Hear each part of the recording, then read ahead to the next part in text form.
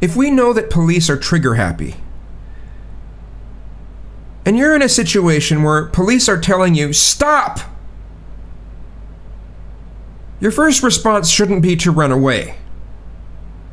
Your first response should be to put your hands up and say, hey, I'm, I'm not doing anything. That should be your first response. If your response is to pull a gun out on the officer or point a gun towards an officer, you should expect to get shot.